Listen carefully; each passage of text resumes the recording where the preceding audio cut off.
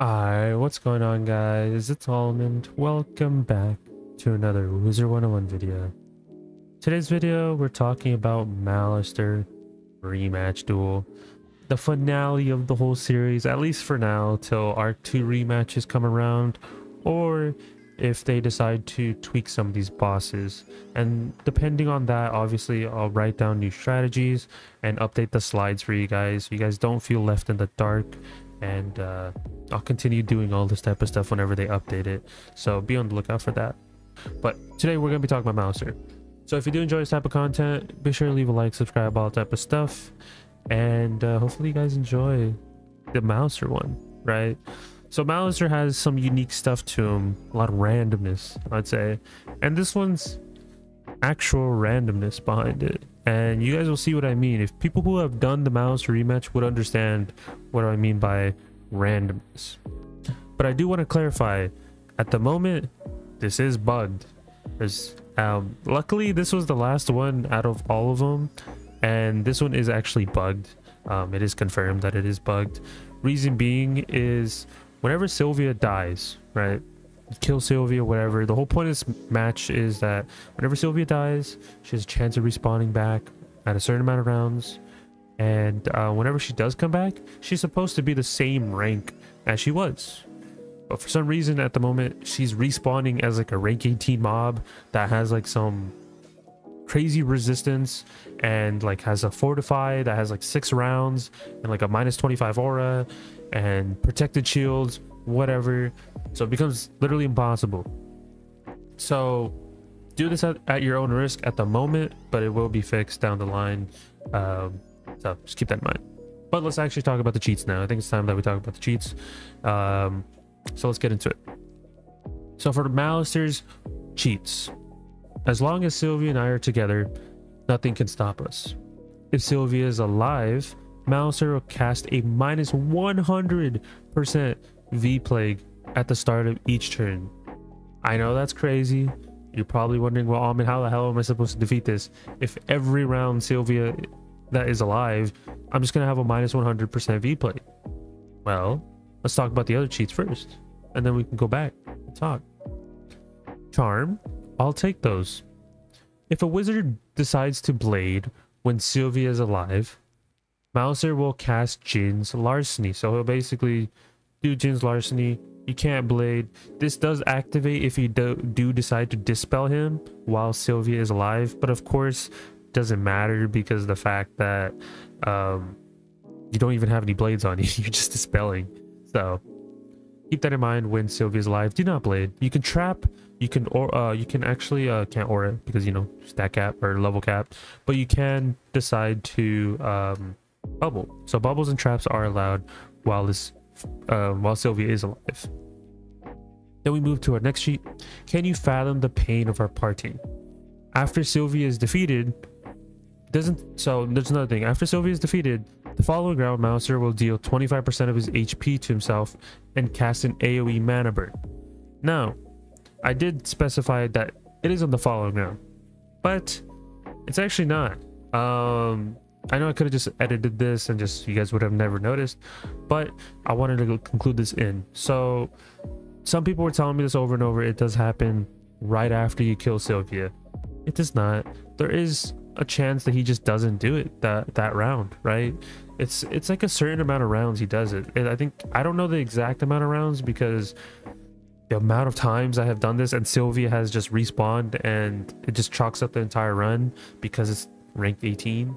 Um, so I wasn't able to test this properly. But from my experience, I've had it go up to four rounds.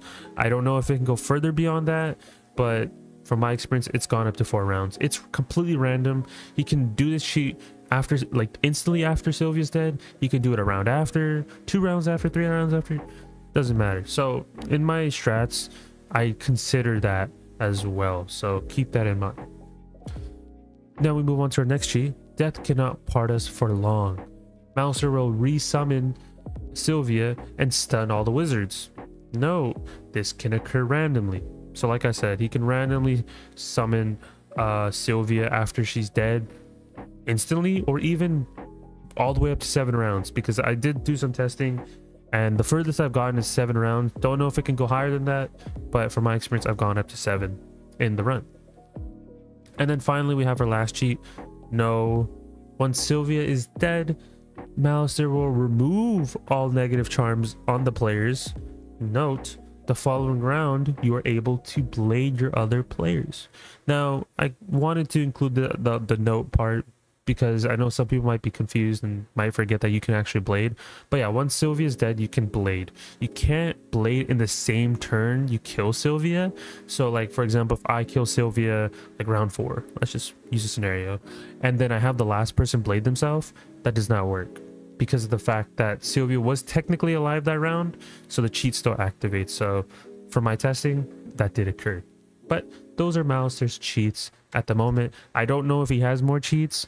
Uh, there probably is a late cheat, but I try not to include those because of the fact that like you really shouldn't be late to the fight because there's so many factors. But honestly, you should not be late to the fight. So if there is a late cheat, I'm sorry if I didn't include it, but you really should not be late.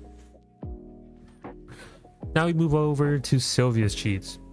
Sylvia has three cheats from my experience. Don't know if there's a fourth one, but hey, you never know. I cannot bear to see my love in pain. If a wizard casts a dot, Sylvia will do a mass triage. So don't try to like cheese this, you know, just dot spam. Literally, Sylvia will do triage. And um, there's that as well. Uh, my love, I cannot hold on any longer. After 1 to 7 rounds, Sylvia will cast a dark pact that, that deals 100% of her health and give Malistaire a 100% blade. No, this cheat can occur randomly. So she can do it round one. She could randomly just want to die round one. She can do it round two, three, four, five, whatever, right? I've had it happen consistently like around round four but that's just complete RNG, right? And I have had attempts where she just decides to die round one.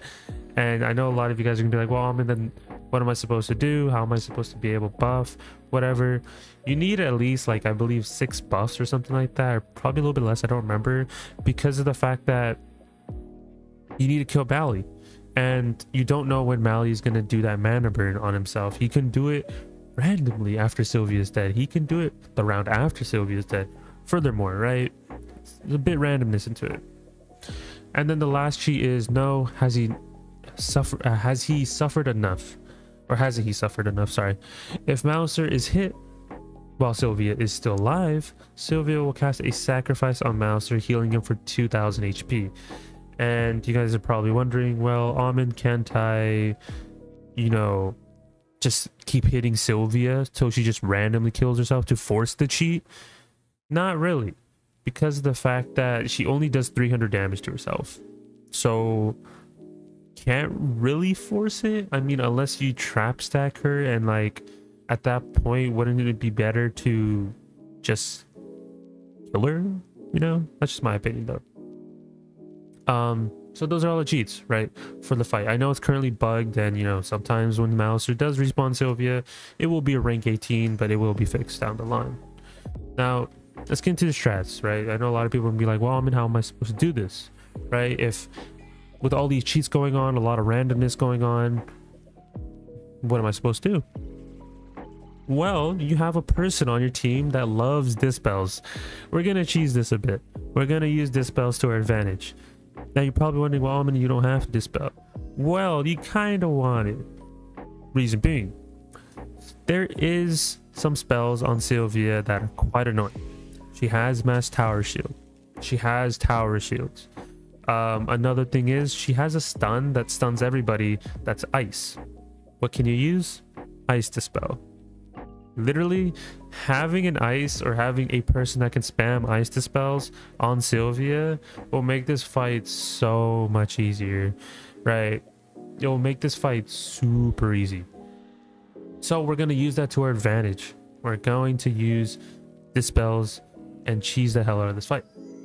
Um, so just to prove a point, I even did this on an ice out of all schools because I know with the past videos I've always used a fire hitter, a storm hitter, whatever, or myth. Just to prove a point. Made it so blatantly obvious that you can do this on any school. you can do this on an ice. So for this example, for the video, we're going to use an ice. You can do this with any school, literally any school. Just change up the traps. If it's a spirit school, use spirit traps. And then instead of using an ice bubble, use the bubble corresponding to your hitter. Um, if you're using uh i don't know let's just use life for example so you would use life traps and then you would also substitute all the pet stuff and the amulet stuff for life traps very easy use your six pip you'll be fine not that difficult but like i said let's look at the strat now so in the first slot you want to have an ice balance death or life and you're probably wondering well i could just use an ice right because they have dispel yeah, you can 100% do that. 100% because um, they have a trained, of course. But Ice doesn't have access to 100% power pips because of the stat caps. If you try having at least like 134 or something like that, which I believe is the current stat cap, it will scroll you down all the way down to 96. And I know some people are like, okay, I can just risk that. That's not a big deal. Well, that's up to you for like to decide, right? but I like always just having no RNG involved. And what I decided to do was you can have an option for a balanced death or life because they can actually achieve 100% power pips as a level 50. So for that reasoning, you can do that and then have an ice mastery and then go train melt. Go train melt. You can have TC melts if you want to, whatever. Um, the most melts I've used in this fight is going to be probably six. Um, there is some instances where I do use three, which is perfect. Um, maybe four, but three is like the the starting point. I'd say like you want at least minimum of three. Um, you want to have more because of the randomness that is involved. Of course, if Sylvia respawns, etc., whatever. So having like six is very good. Six is I say is a good number, and that seventh card can be like your like the trap that you're gonna use. Uh, then we move on to the death slash balance. This could this doesn't have to be a death or a balance, right? You guys can switch this up. You really just need to stack a bunch of traps on Mally, and then once you have a good amount, like I said, you, you're good to go. But I'm using death or balance because they, this can literally be a death or a balance. So all they're doing is doing an amulet bubble, and then they're doing an ice trap on round two. Round three, they're gonna pass because they don't have much to do, right? If Sylvia is still alive, you're kind of limited. I know some people are going to say, well, Almond, I can just trap early, you know? The reason why I don't put hexes and curse is because the fact that Mouser is death. He has access to Dark Pact. And I don't want to put traps like universal traps when he's just going to do do like dark pacts and stuff like that. So that's why I didn't include those beforehand. And uh, that's just for me personally. You guys are more than welcome to do that though. You guys are more than welcome to add a hex and curse whatever early on if you want to but this is just personal preference. Um, so that's why i don't do it till later on. And then of course they're just gonna pass. And then once sylvia dies they're gonna curse or hex um, the round that you guys are hitting and you're good to go and the third person legit it can be any school any school. Um, they just need to spam elemental traps, and then the turn that you're gonna hit, they're just gonna do an elemental blade. So what we did was just they did an elemental trap, then they did an amulet elemental trap, and then they did a pet elemental trap, and then the the round that you guys are gonna hit, you do an elemental blade on the person that's hitting. Um, of course, corresponding to your school, just switch it up, right? If it's a, if it's a myth, do it do a spirit blade. Quite simple. And then um, the reason why they're able to blade is because Sylvia's dead, of course. And then the ice hitter, they're doing literally universal traps, or not universal traps, they're doing their own trap, um, but they're doing zero pips. So in case you, for some reason, pit fail, whatever, you like if randomly by chance you pit fail really bad, you still have enough to actually even kill, which that's why you use zero pips on that person. So they're doing ice trap, they're doing amulet ice trap, and they're doing mass trap. You, like I said, you can substitute this out for any other trap um, if you have access to it. So if you don't have mass trap, I know there's some people. Well, I don't have dragoon hat. I don't have headmaster staff. There's other ways of getting an ice trap. There's a pet that gives that as well. So get that at your own regard.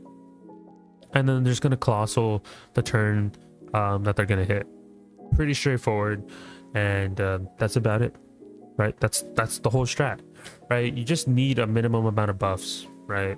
And then you're able to kill. And I know I'm gonna get some questions. Well, Almond, what if the you know Sylvia dies round one, right? That's fine. You still you don't have to dispel. Instead, you can carry other traps. That person that's in slot one can carry other traps just in case, right? Uh, like for example, Sylvia dies round one, but the thing is, he can also summon, re-summon Sylvia round two, and then you're just back at this like stalemate, you know. And you can't kill Mally if Sylvia's alive because she'll just sacrifice. So that's why you're in that constant stalemate of doing this. Now, I do have another strategy, but it's very specific. But I do want to include it in the video just because we were able to do it this way, and it it worked quite often if RNG is in your favor. But let's talk about it real quick. I had a strategy with myths, and it might look cooked, it might look cooked, but it worked. It worked every time um, that it RNG was in our favor. All you're doing is literally same. The person one is still spamming melts on Sylvia, is dispelling Sylvia with ice spells, of course. And then all you're doing is literally using traps. You're using different versions of mass trap. Um, and then what you're going to do is quickly kill Sylvia and then quickly kill Malistaire back to back. So you don't have to worry about that mana burn sheet. So that's about it. And then you have to have cleanse because of the fact that Malistaire does have Deer Knight and it's bottom path Deer Knight. So it could give you a weakness on top of that. So that's why you want to have a person that's a storm or a myth. It could be any person, like it could be any school that has the headmaster staff or even um, uh, specifically a myth that can do the dragoon hat, of course, for another mass trap. But using mass traps at your advantage, so you can just easily switch between both targets whenever you need to. So, for example, if round three, at the end of the round, she randomly decides to um, basically just die, you can easily swap it up. You can easily start blading and then myth trapping and then the following round stone colossus, right?